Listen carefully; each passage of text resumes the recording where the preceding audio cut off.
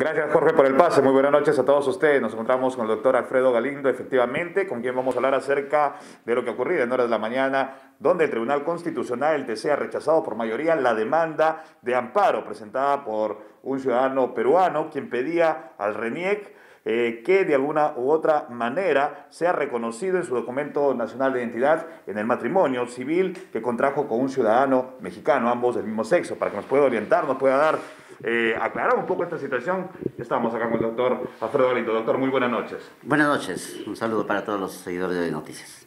Cuéntenos, doctor, ilústranos un poco cómo se ha llegado esta situación hasta el Tribunal Constitucional.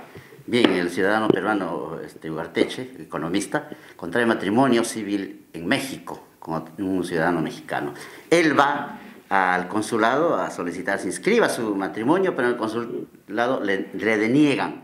Viene a Lima, eh, solicita ante RENIEC, también le deniegan. Entonces, él acude a la vía judicial mediante un amparo. Claro, la lucha ha sido larga, pero eh, él inicia ante el séptimo juzgado constitucional de Lima y en primera instancia le declaran fundada la, demanda y el juzgado ordena a Reniec que inscriba ese matrimonio.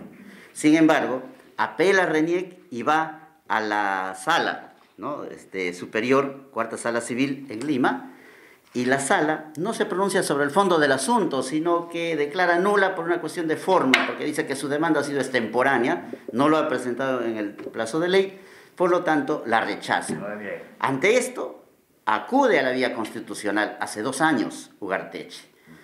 Hoy se ha pronunciado el Tribunal Constitucional. No conocemos los términos de la sentencia, pero eh, ya se adelantó de que esta va a ser declarada infundada. ¿no? Básicamente por dos aspectos, según hemos podido decir. Porque en el Código Civil ¿no? se establece que el matrimonio es entre un hombre y una mujer y la Constitución protege a la familia bajo esos términos. Ahora, esta ha sido la última instancia, si es que ya se declaró prácticamente cuando se, el Tribunal Constitucional lo declare esto infundado, como usted manifiesta, esto de acá ya no va a poder ser eh, apelado. Con esto prácticamente la vía nacional ya terminó su función, se agotó. Entonces lo único que queda es la instancia internacional. Ah, eh, ya Huartecha lo anunció, vamos a ir ante la Corte Interamericana de Derechos Humanos. Esto han estado esperando también varias personas que, que han contraído nupcias en otros países y quieren que el RENIC le reconozca acá como es este caso. Hay muchas expectativas, sí, de, parejas eh, que se han unido a la comunidad LGTB. Entonces esto merece un amplio debate, creo, jurídico y sobre todo de que algunas normas ya se han quedado en el tiempo. ¿Qué se espera en todo caso, doctor, eh, teniendo en cuenta que, bueno, según el Código Civil, eh, tiene algo ya establecido, que es el matrimonio entre hombre y mujer? Por supuesto, si nos vamos a un aspecto literal, definitivamente no procede, pero si vamos a un aspecto ya eh, de fondo, de interpretación, de, de defensa de derechos y principios, y sobre todo lo que ha recomendado la Corte Interamericana de Derechos Humanos es de que hay que prevalecer por encima de la ley el derecho a la igualdad y a la no discriminación. Ese es el argumento de la comunidad LGTB. ¿Cuándo ya se estaría el Tribunal Constitucional eh, presentando ya oficialmente esto, lo que hoy ha adelantado? No, en el, eh, ya esto no pasará de, eh, bueno, de 10 días se supone, ¿no? Pero a veces el tribunal demora mucho más. Una vez notificadas las partes ya tienen expedito su derecho para ir ante el Foro Internacional prácticamente es una situación que va a continuar, va a tener para largo, porque ahora se pasa a la vía internacional, como usted lo manifiesta. Así es, y según lo establecido por la jurisprudencia de la Corte Interamericana, al parecer les van a dar la razón a los demandantes. Perfecto, y esto también incurre en el tema de la Constitución, como bien usted ahí tiene en, en, escritorio.